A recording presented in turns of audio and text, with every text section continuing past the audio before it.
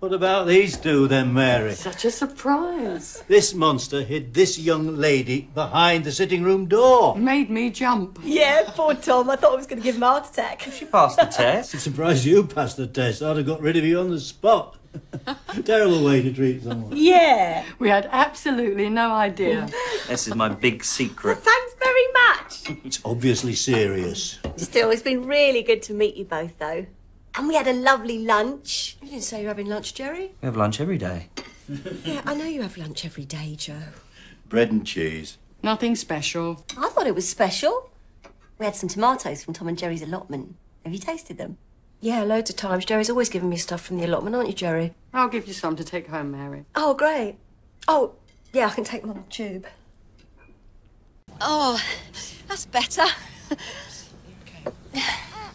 We've saved you some food, Mary. I hope it's still warm. Oh, thanks, Gerri. Oh, yeah, it'll be fine. Please, and fresh if you like. Oh, no, Tom, don't worry about me. So you didn't get arrested then, Mary? No, I didn't, Joe. He was very kind to me, actually.